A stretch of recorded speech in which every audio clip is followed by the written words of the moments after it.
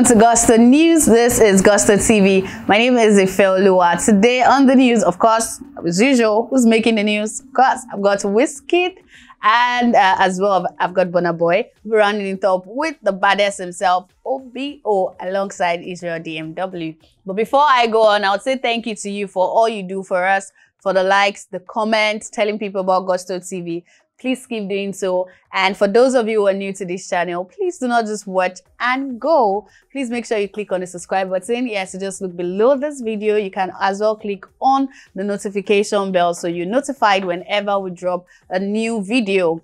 So starting up with Wizkid. Yes, uh, Wizkid made a Lagos album. Of course, it's one of the most successful album, you know, to come out of Nigeria in 2020. It's been doing so well. Songs of it have been doing so well, both on the Billboard and as well on streaming platform. I mean, when you see the charts, when you see, um, you know, people coming up with facts about, oh, this song is now this month or streams on this platform, on that platform. Of course, you know that, um, you know, Wizkid's songs of Made in Lagos album is usually on most of those lists. Yeah, but, um, you know, just about a week ago, he came up and said, I've got something for you we were anticipating, oh, maybe it's a Nigerian date. Maybe any moment from now, we're going to be having our own Nigerian made in Lagos store, maybe the Lagos one and all of that. But it came up to shock us. It came with um, another a remix, we call it a remix of Essence, and then also made an extra announcement that said MIL Deluxe coming because that is set to drop on August the 27th, which is on Friday.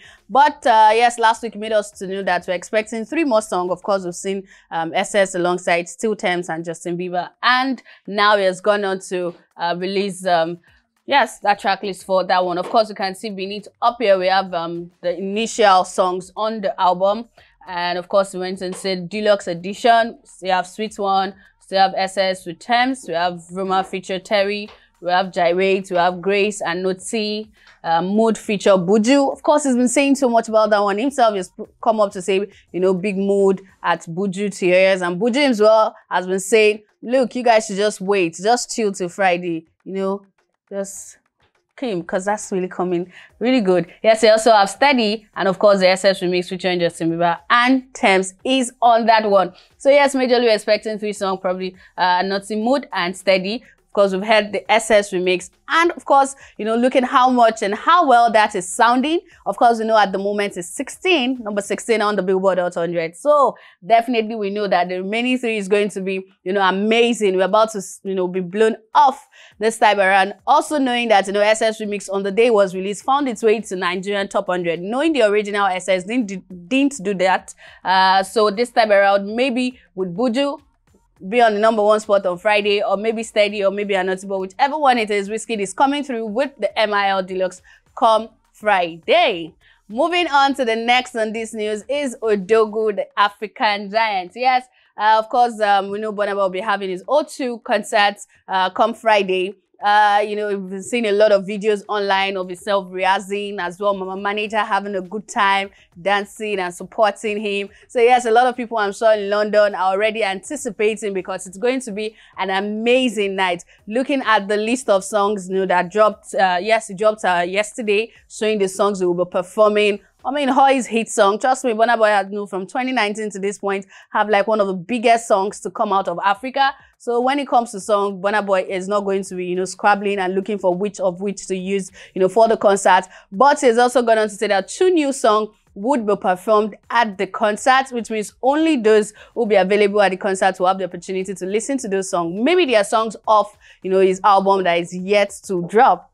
But amidst the whole concert, of course, you know that a lot of times on Twitter, there's been a dragging conversation here and there saying, oh, when is the O2, Burna Boy's O2 concert? Is it sold out yet? So many questions. Some people are like, oh, I'm not sure it is. And some, you know, quite a number of um, conversation is coming up around um, that one, especially after Wizkid, you know, announced his, you know, his own um, November uh, concert being sold out in 12 minutes. This gave fans, Wizkid fans and others started asking Burna Boy questions. But yes, this person, of course, would be an outsider, a fan of Burna Boy, uh, come up on Twitter you know, to throw shades at people who had been saying Burna Boy did not or was not able to sell out the O2 arena. He says, I pity all the people on this app that thinks that Burna Boy hasn't sold out his show at the O2. Trips at sea. Okay.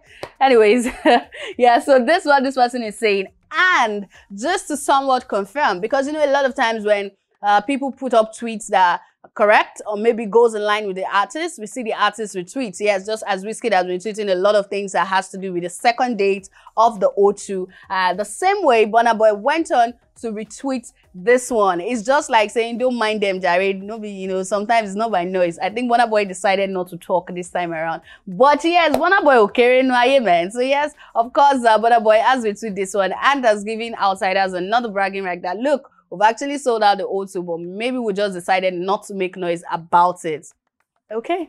All right. So moving on to the next on this news, we'll be rounding up with the baddest himself, Davido, alongside one of the guys on his team, Israel DMW. Yes, about a month ago, there were a lot of um, speculations here and there um, saying that um, you know, Davido is about to sack Israel DMW, you know, evict him from the um, 30 BG crew uh, himself was putting up a couple of stories like people should help him beg, beg Davido. He didn't know what he did until, you know, uh, Ubi Franklin reached out to him and a, a lot of that. Of course, um, that brought, generated a lot of conversations. Some people are like, please let him leave so we can come in and, you know, a uh, couple of other things. Yes, of course, saw some um, alleged WhatsApp conversation of Davido and his lawyer, uh, where Davido was saying the only um, document he wants to sign at that moment was um, Israel DMW sack letter.